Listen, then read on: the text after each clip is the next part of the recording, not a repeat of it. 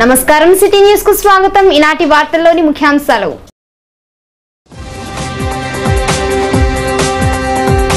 తనకు ఓటు వేసి గెలిపిస్తే రెండేళ్ళ కాలంలో పోలవరం నియోజకవర్గాన్ని అభివృద్ధి చేస్తానంటున్న కాంగ్రెస్ పార్టీ ఎమ్మెల్యే అభ్యర్థి నూపా పార్వతి.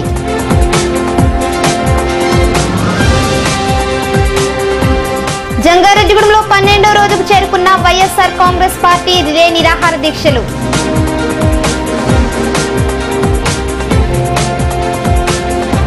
తెలుగుదేశం పార్టీ అధికారంలోకి వస్తే అన్ని వర్గాలను ఆదుకుంటామంటున్న తెలుగుదేశం పార్టీ ఎమ్మెల్యే అభ్యర్థి మోడియం శ్రీనివాస్.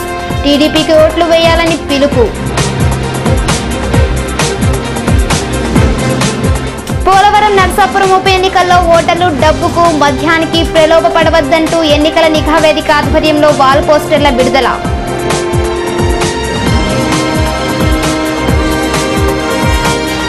జంగారెడ్డిగూడెంలోని భగవాన్ శ్రీ శ్రీ శ్రీ వెంకయ్య స్వామికి జలాభిషేకం చేసిన భక్తులు భారీ అన్నదాన సమరాధనకు హాజరైన భక్తులు.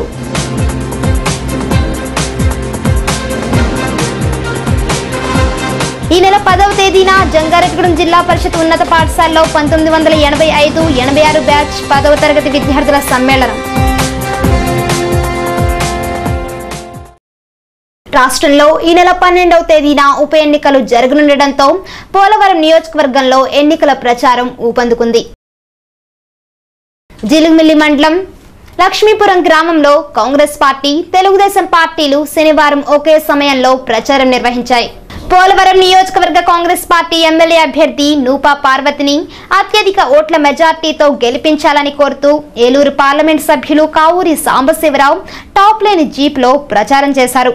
నూపా పార్వతి వెంట డీసీసీ అధికార ప్రతినిధి జట్టి గున్నాథరావు రంపచోడవరం ఎమ్మెల్యే సత్యనారాయణ రెడ్డి కొల్లూరి రాంబాబు తదితరులు పాల్గొన్నారు. అత్యధిక సంఖ్యలో కాంగ్రెస్ పార్టీ నాయకులు కార్యకర్తలు ప్రదర్శనగా లక్ష్మీపురం వీధుల్లో ప్రచారం చేశారు. ఈ సందర్భంగా ఎంపీ కావూరి సాంబశివరావు దృష్టికి లక్ష్మీపురం గ్రామస్తులు స్థానిక సమస్యలు పరిష్కరించాలని మొరపెట్టుకున్నారు. తమ సమస్యలపై తనకు పూర్తిగా అవగాహన ఉందని రెండు సంవత్సరాల పాటు కాంగ్రెస్ ప్రభుత్వం అధికారంలో ఉంటుందని లక్ష్మీపురం గ్రామాన్ని అన్ని రంగాలలో అభివృద్ధి చేసేలా చూస్తానని మౌలిక సదుపాయాలు అందేలా శక్తి వంచన లేకుండా కృషి చేస్తానని ఏలూరు ఎంపీ కావూరి సాంబశివరావు తెలిపారు. అయ్యో పాపం అయ్యో పాపం అని అంటే అరే అయ్యో పాపం ఎవడికయ్యా పేదవాడికా? అయ్యో పాపం గుణవంతుడిగా అయ్యో పాపం త్యాగపురుషుడిగా అయ్యో పాపం సేవ సేవలు చేసినవాడికా దొంగతనం చేసినవాడికి అయ్యో పాపం అంటే?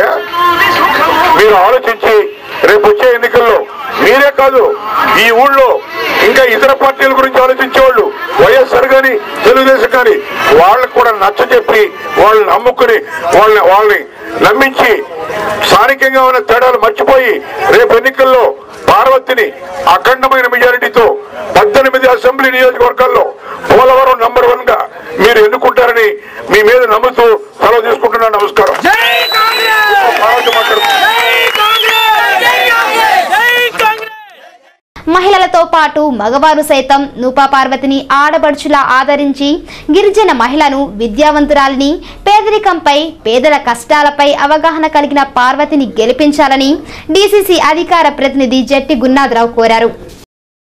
మేము మా పంచాయతీ నుంచి వెయ్యి ఓట్ల తీసుకొస్తాం. మా పంచాయతీని ఆదర్శ పంచాయతీ చేయడానికి చెప్పడం జరిగింది. మీరందరూ కూడా కాంగ్రెస్ పార్టీ అభ్యర్థి నోవు పాడుతున్న అఖండ మెజారిటీ నెగ్గి చస్తం గుర్తు వేసి ఎంపీ గారితో మనం గ్రామాన్ని అభివృద్ధి చేసుకోవడానికి తోడ్పడుతుందిగా. ఇది ఎలక్షన్లో మన గురించి మన గ్రామాభివృద్ధిగా భావించి ప్రతి ఒక్కరు కూడా ఎన్నికల్లో అధికమైన కృషి చేయని కోరుకుంటున్నాం. కాంగ్రెస్ పార్టీ ఎన్నికల గుర్తు హస్తానికి ఓట్లు వేసి ఎమ్మెల్యేగా తనను గెలిపించాలని తనకు ఛాన్స్ ఇస్తే అభివృద్ధి అంటే మాటలతో కాకుండా చేతలతో చూపిస్తానని నూపా పార్వతి ఓటర్లను ఓట్లు అభ్యర్థించారు. ఈ అవకాశం నేను కాంగ్రెస్ పార్టీ అభ్యర్థిని. నాకు ఈ అవకాశం కాంగ్రెస్ పార్టీ అధ్యక్షురాలు సోనియా గాంధీ గారి ద్వారా అలాగే మన ఎంపీ కావూరి సాంబశివర గారి ద్వారా అలాగే జట్టు గురునాథం గారి ద్వారా నాకు ఈ అవకాశం వచ్చింది. కాబట్టి నేను ఒక గిరిజన మహిళను చెప్పారు మన ఎంపీ గారు అందరూ చెప్పారు. నేను ఒక గిరిజన మహిళను అయి అయ్యుండి కూడా గిరిజన గిరిజనులకే కాకుండా గిరిజనేతరులకు కూడా ఏవై ఏవైతే అభివృద్ధి కార్యక్రమాలు ఉన్నాయో అవన్నీ మన మనకైతే ఏవైతే సమస్యలు ముఖ్యంగా ఉన్నాయో అవన్నీ నేను పరిశీలించడానికి ముందుకు వచ్చాను కాబట్టి మీరందరూ నన్ను ఆశీర్వదించి నన్ను ముందుకు నడిపిస్తారని కోరుకుంటున్నాను. అందరికీ కాంగ్రెస్ పార్టీ హస్తం గుర్తు కోటేసి గెలిపించండి. మనమైతే ఏమైతే సమస్యలు ఉన్నాయో అవన్నీ పరిశీలించడానికి మనకు ఒక అవకాశం వచ్చింది కాబట్టి మనమంతరం కలిసి కృషి చేద్దాం.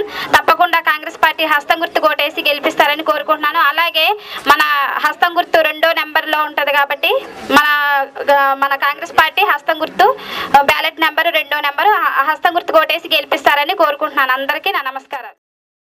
జంగారెడ్డిగూడెంలోని జిల్లా పరిషత్ ప్రభుత్వ బాలుర ఉన్నత పాఠశాల నందు పంతొమ్మిది వందల ఎనభై ఒకటి ఎనభై ఆరు సంవత్సరంలో శిస్తు నుండి టెన్త్ చదివిన పూర్వ విద్యార్థుల సమ్మేళన కార్యక్రమం ఈ నెల పదో తేదీన ఆదివారం నిర్వహిస్తున్నట్లు సిటీ కేబుల్ యాజమాన్యం పాలపర్తి సత్యనారాయణ తెలియజేశారు.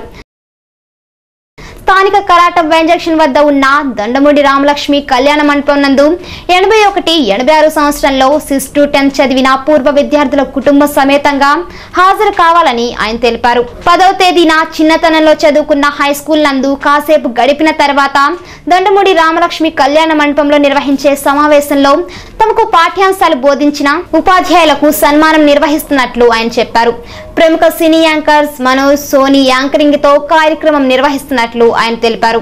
ఈ కార్యక్రమానికి దేశ విదేశాల్లో సెటిల్ అయిన ఎనభై ఒకటి ఎనభై ఆరు బ్యాచ్కు చెందిన పూర్వ విద్యార్థులు హాజరవుతున్నట్లు ఆ బ్యాచ్ పూర్వ విద్యార్థులు కొంకిమల్ల సురేష్ కోరా రఘు జేవిడి ప్రసాద్ తడికిమల్ల రామకృష్ణ వాస రామలింగేశ్వరరావు ఇల్లా నాగేంద్ర కుమార్ సాయిబాబా తదితరులు తెలియజేశారు.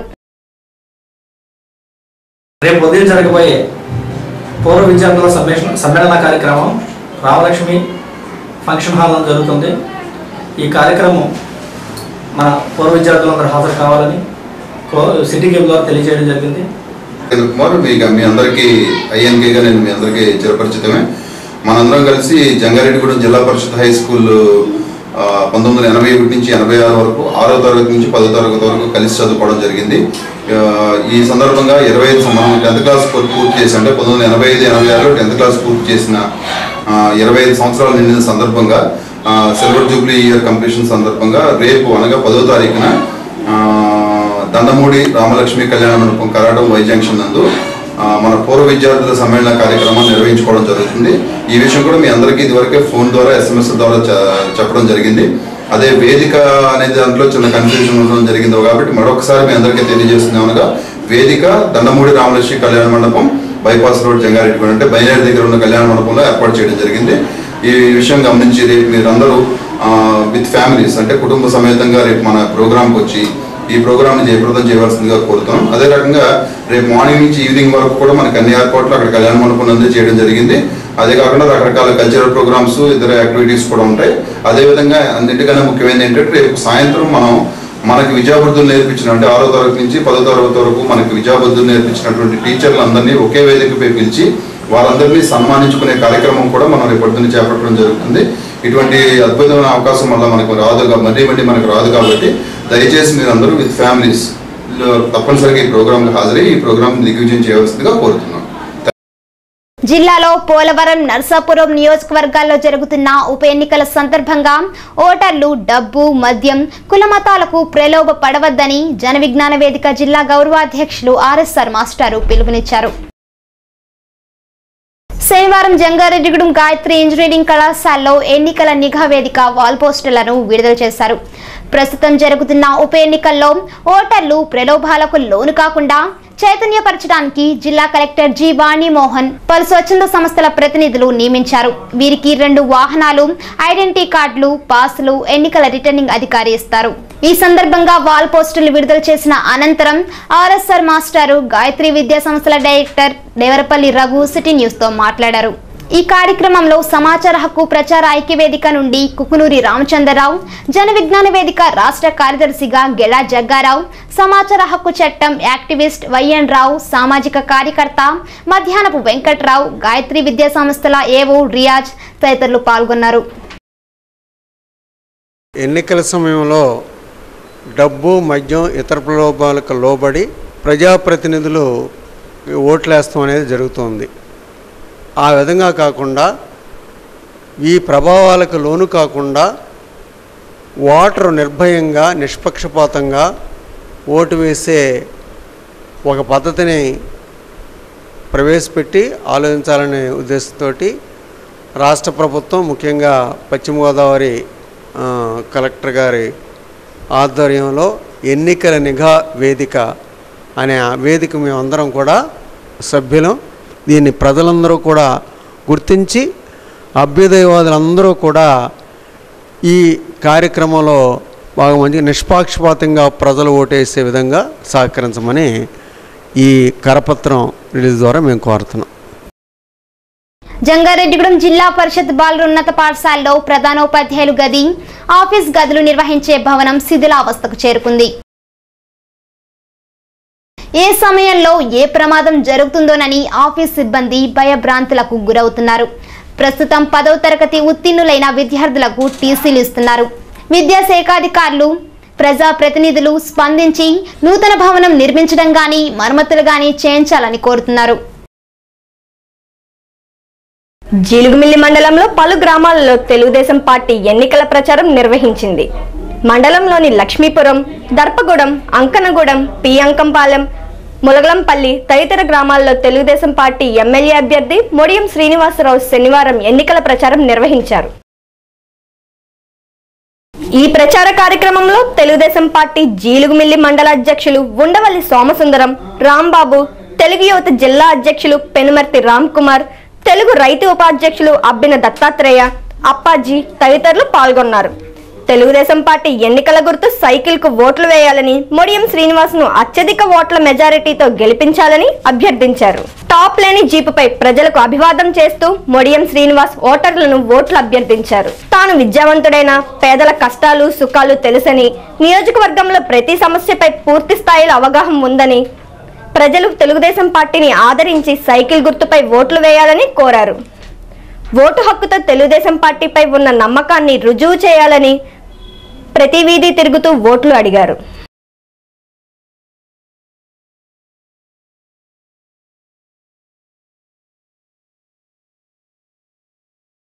జంగారెడ్డిగూడెంలో వైఎస్ఆర్ కాంగ్రెస్ పార్టీ ఆధ్వర్యంలో చేస్తున్న రిలే నిరాహార దీక్షలు శనివారంతో పన్నెండవ రోజుకు చేరుకున్నాయి.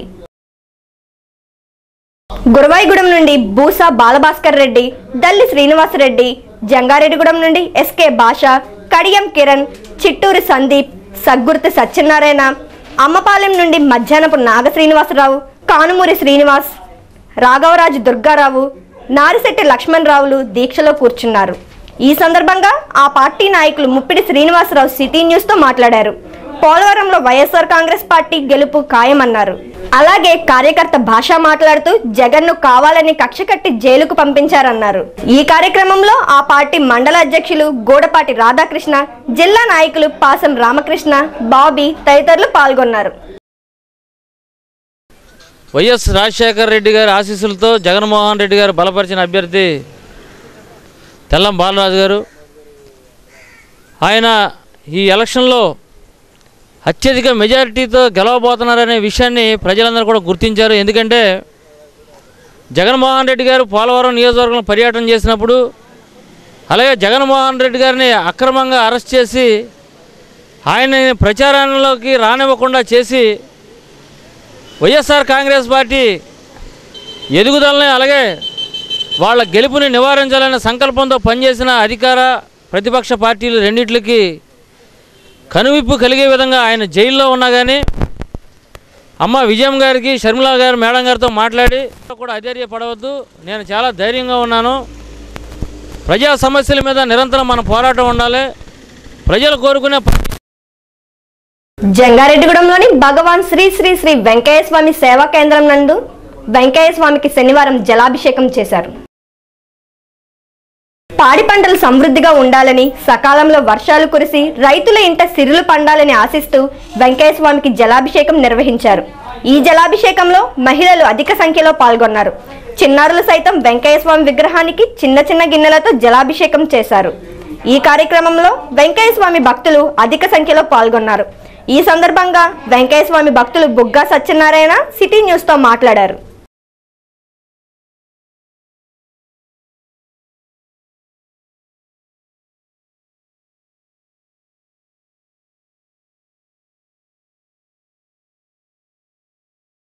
మండల కేంద్రమైన బుట్టాయిగూడెంలోని కొమ్ముగూడెం సెంటర్లో ఉన్న షిరిడి సాయిబాబా ఆలయంలో సాయి సేవకుల సత్సంగం కార్యక్రమం శనివారం జరిగింది. మూడు రాష్ట్రాలలో పద్నాలుగు సాయి స్తూపాలను సందర్శించి వచ్చిన భక్తుల అనుభవాలపై సదస్సు నిర్వహించారు. విశ్వ విరాట్ స్వరూప్ దగ్గర నుంచి బయలుదేరిన ఈ యాత్రలో తొంభై మంది సాయి ఋత్విక్లు స్తూపాలను దర్శించుకున్నారు. బుట్టాయిగూడెంకు చెందిన సాయి ఋత్విక్ ఏ సూరిబాబు పురోహిత్ ఏ పూర్ణ జ్ఞానేశ్వరి సత్సంగం చేశారు. ఈ సందర్భంగా సాయిబాబాకు పూజలు జరిపించారు. ఈ కార్యక్రమంలో పంది పోతురాజు మధ్యాహ్నపు శ్రీను తదితరులు పాల్గొన్నారు. ఎన్ని అనుభూతులు అయితే మీరు సంపాదించుకున్నారో మరి దీన్ని కొంతమంది చిన్న చిన్న పిల్లలు ఒక వాళ్ళ యొక్క జీవితానికి ఒక మార్గం మాకు దొరుకుతుందని కూడా చెప్పడం జరిగింది. మరి ఈ విషయాలన్నీ మీరు ఏం చేయాలి? ఇంటికి వెళ్ళిన తర్వాత ఒక నవరత్నాలు పెట్టేలాంటి దాన్ని తయారు చేసుకుని దాంట్లో ఎప్పుడు ఎప్పటి వరకు అంటే ఇది మన శరీరంలోంచి ప్రాణం బయటకు వెళ్ళే వరకు కూడా ఈ మాటలే ప్రతి క్షణం గుర్తు చేసుకుంటూ అది మన జీవితానికి ఒక ఆదర్శంగా మనం మార్చుకోవాలి. గురువు చెప్పారు కదా గురువు గారు తనకు తానుగానే కొన్ని నియమాలు. బాబావారి వారి జీవితంలో షిరిడి నుంచి ఎక్కడికి వెళ్ళకుండా ఎనభై మూడు సంవత్సరాలు జీవితాన్ని ఏ విధంగా తనకు తానుగా కఠినమైన ఒక ఫకీర్ జీవితాన్ని ఆచరించి ఒక ప్రపంచాన్ని శాసించే మహాశక్తిగా ఆయన ఎలా మారారో అమ్ముల సాంబశివరావు గారు కూడా అదేవిధంగా తన యొక్క ఆత్మని అంత శక్తివంతంగా భౌతిక శరీరంతో కాకుండా మండల కేంద్రమైన బుట్టాయగూడెంలో కాంగ్రెస్ పార్టీ పోలవరం ఎమ్మెల్యే అభ్యర్థి నూపా పార్వతి శనివారం సాయంత్రం ఎన్నికల ప్రచారం నిర్వహించారు. శనివారం బుట్టాయగూడెంలో సంత కావడంతో నూపా పార్వతి సంతకు వచ్చిన ప్రజలను కలుసుకుంటూ హస్తం గుర్తుకు ఓట్లు వేయాలని అభ్యర్థించారు. ప్రతి దుకాణం వద్ద కొనుగోలుదారులను అమ్మకందారులను తనదైన శైలిలో పలకరించారు. గిరిజనులతో గిరిజన భాషలోనే మాట్లాడుతూ కాంగ్రెస్ని గెలిపించాలని కరచాలనం చేస్తూ ముందుకు కదిలారు. ఈ కార్యక్రమంలో ఏలూరు ఎంపీ కావూరి సాంబశివరావు కాంగ్రెస్ పార్టీ బుట్టాయిగూడెం మండల ఇన్ఛార్జ్ కుంజ నాగరాజు సుభాష్ చంద్రబోస్ తదితరులు పాల్గొన్నారు. బుట్టాయిగూడెం ప్రధాన రహదారికి ఇరువైపులా నిలబడిన వ్యక్తులను ప్రయాణికులను కనిపించిన ప్రతి వ్యక్తిని ఓట్లు అభ్యర్థించారు. ఈ సందర్భంగా నిర్వహించిన రోడ్ షోలో ఏలూరు ఎంపీ కావూరి సాంబశివరావు సుదీర్ఘ ఉపన్యాసం చేశారు.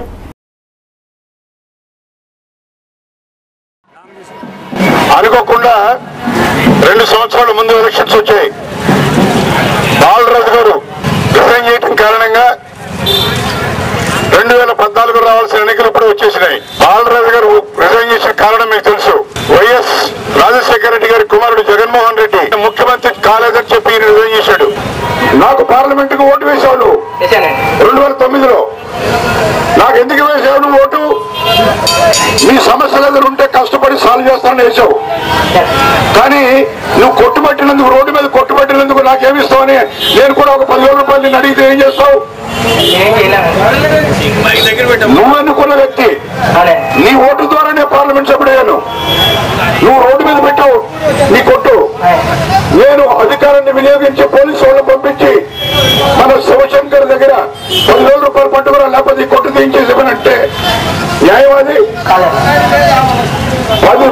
ఈ ఎన్నుకున్న ప్రజాప్రతినిధులే గట్టి తింటే అధికారులు కూడా తినకుండా ఎందుకుంటారు?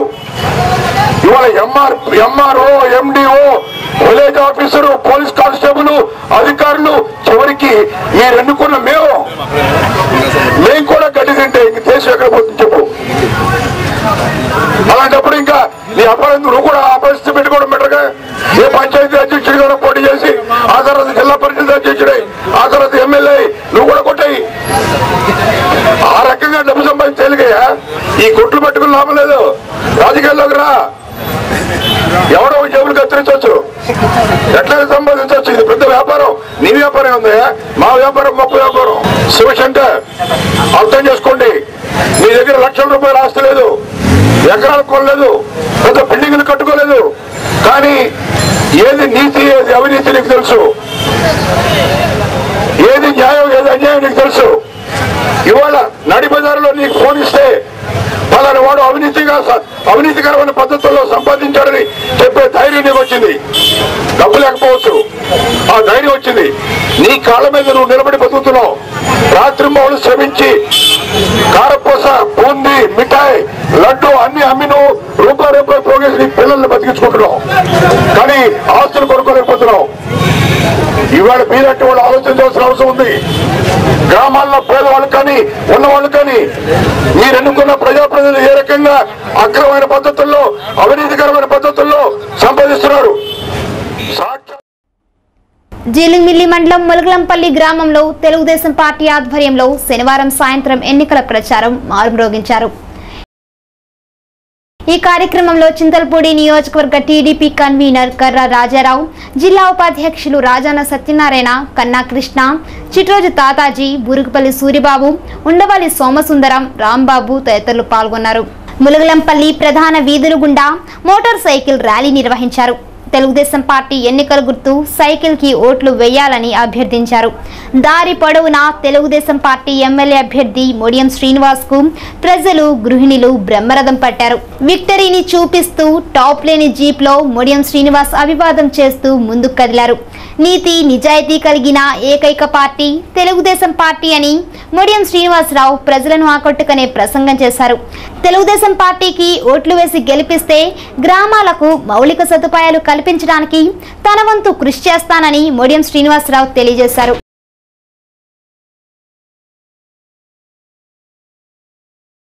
ఉన్న రాజకీయ పరిస్థితులు మీ అందరికీ తెలిసినే రాష్ట్రంలో ముఖ్యంగా ఇప్పుడు జరుగుతున్న ఉప ఎన్నికల్లో మూడు పార్టీలు ఇక్కడ మూడు పార్టీలు ఉన్నాయి. నేను తెలుగుదేశం పార్టీ అభ్యర్థిగా ఉన్నందుకు గర్వపడుతున్నాను. మిగతా రెండు పార్టీలు నాయకులు. Congress party YSR Congress party నాయకుల పరిస్థితి.